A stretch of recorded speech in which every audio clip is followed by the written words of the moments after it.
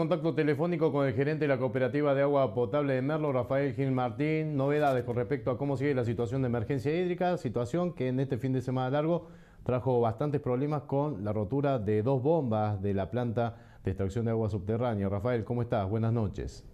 ¿Cómo te va, Esteban? Un saludo para todos y toda la querida audiencia. Bueno, esperamos que te recuperes pronto. Estás atravesando un cuadro gripal, si no la idea era que vinieras esta noche aquí en vivo al estudio. Así que bueno, primero te deseamos pronta mejoría y segundo queríamos consultarte cómo está la situación. Mira, este, te voy contando por, por planta y por situación de cada uno de los eh, sitios donde potabilizamos el agua, este, cada planta. Eh, Piedra Blanca, bueno, hoy justamente creo que llovió un milímetro, no llovió mucho, no llovió casi nada y me, llovió encima porque fui a la, a la toma de agua este, por una cuestión de, bueno, charlar con el capataz que está a cargo de la empresa para poder ir coordinando eh, los trabajos que está haciendo y que no nos falte el agua, y menos en esa planta que es tan chica y demás. Así que lo resolvimos. Justo me agarró la lluvia arriba por un estado gripal, pero bueno, ya está, son cosas que pasan. Eh, mira, curiosamente, eh, movimientos que se hicieron ahí y demás están haciendo que se aproveche casi toda el agua del, del arroyo y en estos momentos hasta ahora Piedra Blanca está eh, habilitada, es decir, no tenemos corte hasta ahora y no lo vamos a hacer hasta en tanto no sea necesario, o, sea necesario, mejor dicho. Después, lo preocupante es el embalse, Esteban. El embalse está, el agua que entra, entra directamente a la rejilla de la toma que va a la planta de tratamiento. Pasa derecho, no, se, no se acumula. Pasa derecho, no se este, acumula pasa derecho el agua, no se acumula, va directamente a la planta potabilizadora. Directamente a la rejilla de la toma que, que pasa a la planta de, Rincón, a la planta grande de Rincón. Así que eh, está preocupante el tema ahí. Y, más preocupante, bueno, menos mal que se solucionó el tema de las dos bombas que estaban quemadas en la, eh, en la ED4, ¿sí? Eh, que está sobre Carlos Gardel y ayer tengo entendido que vino gente de San Luis a, a repararlo, lo solucionó porque es lo que explico siempre, que la zona centro se abastece de, este, de Rincón y cuando no tenemos agua en Rincón, desde la estación elevadora 5, con agua de bombeo, con todas las deficiencias que tiene el sistema de bombeo, ¿sí? este, para no ser tan reiterativo. Eh, eh, que es complicado y justo se nos habían quemado esas, tengo entendido, no sé si se quemaron las bombas o fue un desperfecto eléctrico eh, que hacía que no funcionaran.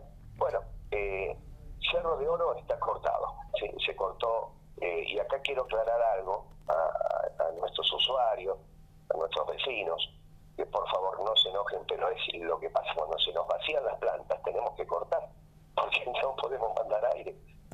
Este, no hay Cerro de Oro eh, por estos momentos no tiene agua. Claro, y mm. eh, sucede que estamos sacando unos flyers, unos este, cartelitos donde, bueno, informamos sobre los cortes y demás, pero hay veces que no, no llegamos a las 8 de la noche como teníamos programado y hemos tenido que cortar a las 4 de la tarde, eh, es decir, cuando nos quedábamos sin agua.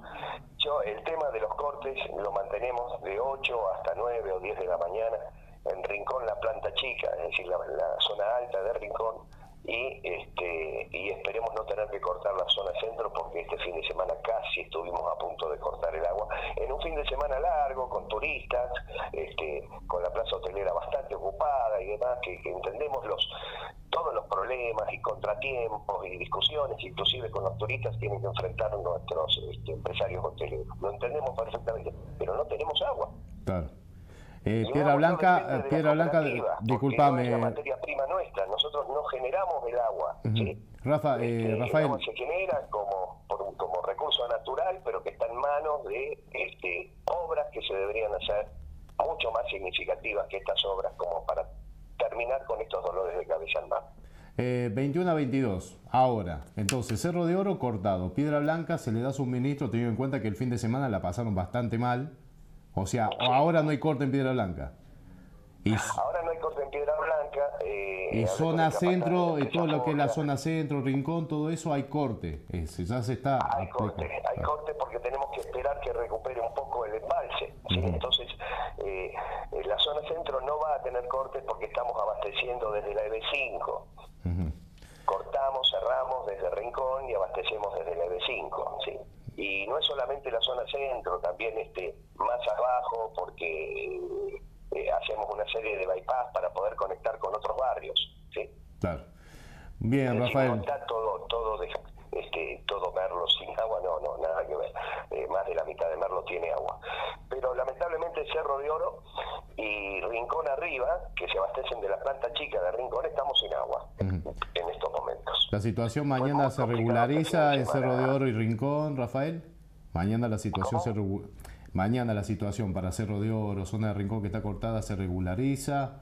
Eh, ¿Cómo lo están claro, está cortada porque tenemos que recuperar, se tienen que llenar las, las cisternas, los filtros de las cisternas. Entonces, si no cortamos, eh, el agua que está, la, el, el, poco caudal de agua que entra, eh, se va se va, este, se generan, se pueden generar golpes de ariete, roturas, que de hecho estamos teniendo muchas roturas por este, por estas maniobras que estamos haciendo de corte. Lo que menos queremos hacer es cortes, porque eso nos triplica las roturas en, las cañerías, en las redes, y a la cooperativa también se le triplica, triplica el, costo, el gasto, ¿no?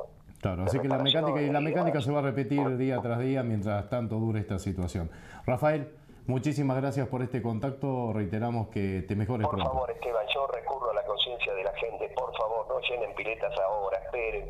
Dios quiera que nos ayude con una buena, este, una buena lluvia, porque lo que yo veo hoy no es nada. Este, pero por favor, recurramos a la conciencia de la responsabilidad de utilizarlo solamente, estrictamente para uso humano.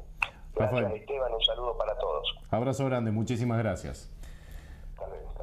Aceptaba la palabra de Rafael Gil Martín, gerente de la cooperativa de agua potable de la Villa de Merlo. Últimas novedades en la situación del corte de suministro que viene aplicando la cooperativa en el marco de la emergencia hídrica.